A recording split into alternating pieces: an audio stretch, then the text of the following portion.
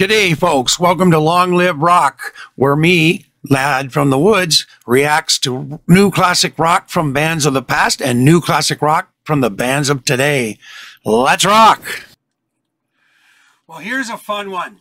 Uh, Rolling Stones fans will uh, recognize uh, the album kind of cover. It looks like, uh, you know, the old Aftermath album, remember?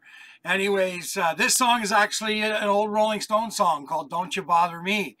These guys, uh, very, very good. I'm not saying they're the next Rolling Stones or anything of the kind, but they just got a good raw sound. They do a great cover of this song. Their uh, full album just came out yesterday. So I haven't had a chance to, to you know, go through my Spotify because I'm doing this right now. I plan on spending most of my Sunday going over the new music again and uh, refilling up all the ones, you know, because I'm taking it out of my list, every one that I'm doing the reaction to. So not that I'm running out, trust me, it's already got into a thousands. I didn't realize how far this would end up. Anyways, uh, the band is Hollis Brown and it's called Hollis Brown in the Aftermath. And the song is the old Rolling Stones tune, uh, uh, Don't You Bother Me. Anyway, you're going to love this. I know I have. All right. And it's a cranker. Proper rock and roll. This is 60s. Rolling Stonesy rock and roll. Kinks. Has to be cranked. It's not background music. It has to be cranked. Take it from an old guy who's now apt up and has a, an ear that's giving me a problem these days. Anyway. Here we go.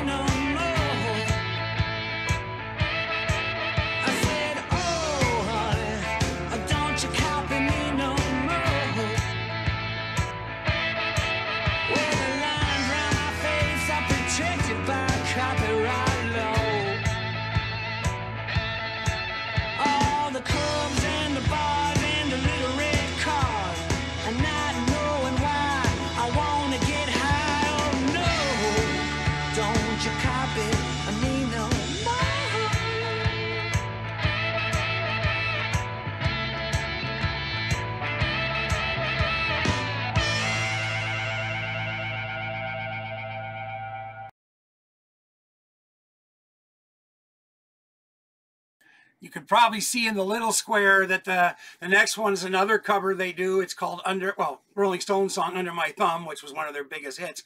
That was, you know, that like there's several eras of the Stones that really stood out. And that era was definitely one of them. Like the X, and then the next one was Exile on Main Street era. That, that those few albums, Sticky Pick. I mean, oh, the Stones were just magic. But this era too, especially, uh, you know, now that the sounds, you know, they, they fixed the sound better. It sounds like, you know, what they've been doing with the Beatles and stuff. Same thing. I mean, the sound is way better than how, how we heard it back then on, you know, beat up little AM radios and, you know, and then on my dad's stereo. But my dad's stereo, as good as it was, uh, is nothing like the one I have now. Or even, you know, the new ones like today, they're even crazier. But, uh, I mean, if you go back and listen to those old, you know, uh, old Stone song with Jagger when he was still young in voice and everything, wow. I mean, you know why they're the Rolling fucking Stones, okay? That era right there, the aftermath, that whole, yeah, anyway. Listen, thanks for coming okay uh, please like share and subscribe to that way it helps the uh, helps build the channel and we're on our way here and if you want to donate or anything like that there's links down in the description all right so everybody be good and long live rock.